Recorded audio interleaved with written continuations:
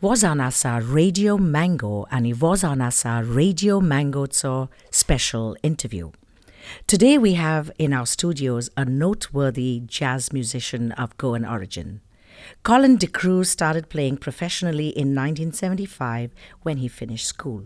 He plays bass. Six nights a week for 10 years gave him the jazz education he needed.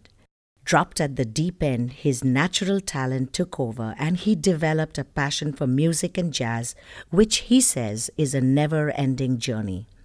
Colin believes there is no final graduation in music. He continues to understand the fine nuances of jazz as he propagates the deep beauty of jazz to Goan and Goa. Welcome to Radio Mango, Colin D'Cruz. Thank you for having me on the show. Yes, it's a pleasure to be sitting here in Goa and recording you uh, instead of our studios in cold Canada. Now, my first question when did you start Jazz Goa and who are the musicians that collaborated with you? I actually launched uh, Jazz Goa in the year 2004. So it's exactly 12 years 12 now. years, yeah. And I launched it along with uh, colleagues of mine, you know, musicians who are playing in my band, and also generally uh, jazz lovers in Goa. Right. Uh, you came in from Bombay. That's where you were brought up. Yes. And you decided to come to Goa and start Jazz Goa. Yes, one reason why I decided to move to Goa was I found Goa, you know, turning into the next jazz hub. Mm-hmm.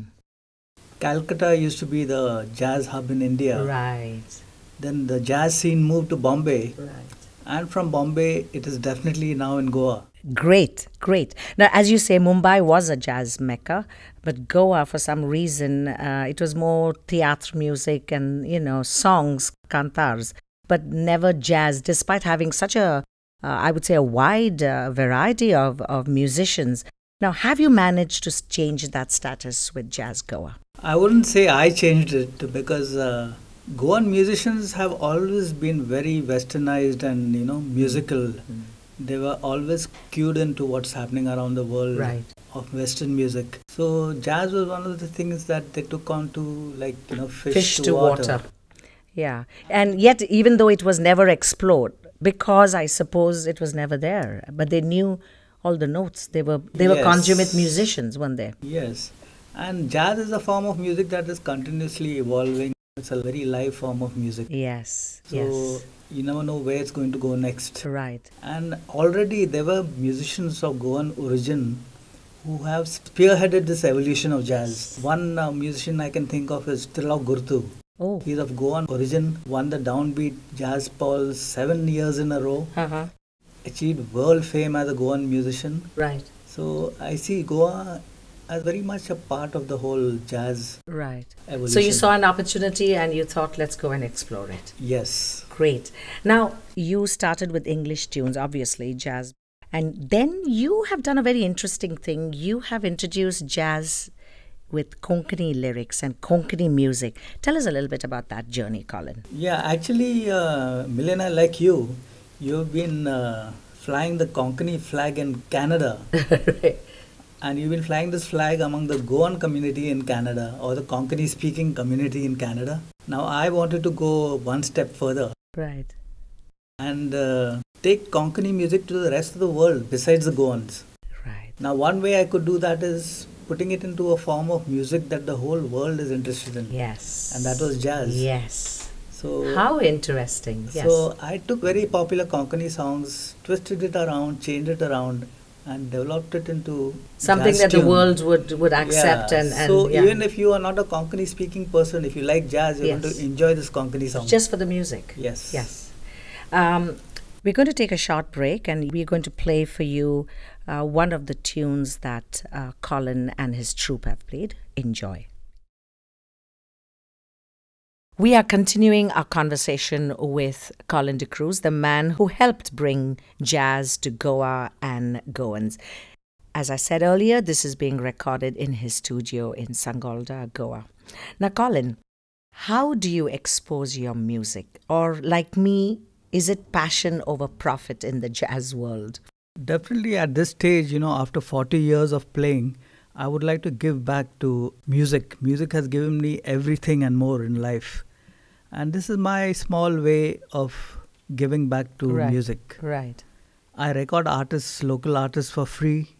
I put them up on the net. I expose them to the world. Right. I offer the music free to the world. Wow. So, you know, as we speak, there are people downloading, music Downloading in different music. parts of the world. Yes. And you do it for the passion of it. Yes. You uh, just told me a little while ago that you will be collaborating or are in the process of collaborating with world jazz musicians. Can you tell our listeners a little bit about this? Yes, you know, I have been always performing with musicians from around the world because a lot of them land up in Goa. Oh, Yeah, and people who come to Goa really in love. search of music or in search of Feni and sun? Actually, they come here for the beaches, the environment, and they just love Goa. Mm-hmm. Goa is a place that inspires any artist. Yeah.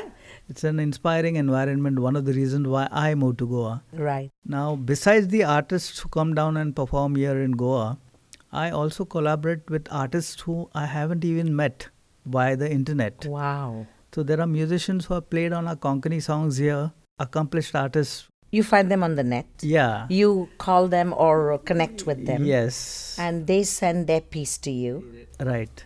And then you uh, edit the whole thing and, and Yes. create the tune. So I created a song using musicians from different parts of the world. What's it called? One tune I can name is Mol Bailodu. Okay. Now this is a Konkani song that has got a Russian saxophonist playing. Amazing. Yes. Yes. So you'll hear it on your show.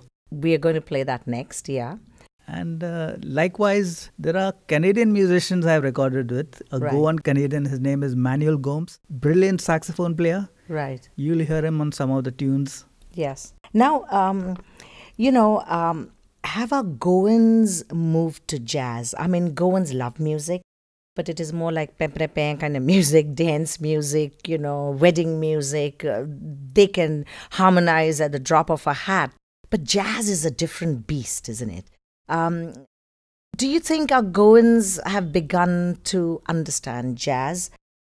Jazz actually has a niche audience all over the world. You know? Right. It's an acquired taste. Hmm. People who get into jazz just don't leave it. It's like it takes right. time to get into Yes. it. Once you love it, you're with it for the rest of your life. Yes. Now, Goans primarily love to dance. Yes. So if Then the jazz song- does not give them yeah. the. so very often jazz music is only for their listening pleasure Mhm. and you know it'll always be secondary to the dance music that they enjoy. Right. Now, who is your favorite jazz musician? Some. Uh, one of my all-time favorites was a bass player called Jaco Pastorius. He's probably inspired more bass players than any other artist in the world. And uh, he, like most great artists, had a short life. He died at the age of 35, but left a huge impression on the world of jazz. Right. So he still continues to inspire me. But is your jazz pure or is it, you know, fusion like Stéphane Grappelli playing with L. Shankar, Subramaniam? Do you prefer fusion jazz or are you a purist? Actually, jazz is the most open form of music, you know. right. So I wouldn't want to call it a pure form of yes. music. Yes. It embraces any form of music. Yes. So you have jazz rock, you have jazz uh, classical, you have jazz country, you Right, have right. jazz reggae. Yes. Yes. So yes, there's yes. a jazz attached to just about every genre of music. Yeah. And it lets the musician take it away and run and come Very back true, to it. And that's why it's my favorite form of music. So I'm really happy that I have the opportunity to, to interview you today.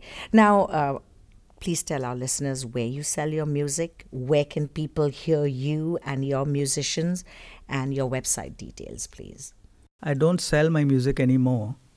I did have uh, record label uh, deals where record companies sold my music, and now I prefer giving out my music for free. Right. So where can they download it? The best place would be jazzgoa.com. Jazzgoa.com. Okay. There are over 100 originals, not just my music, but artists whom I have recorded, right.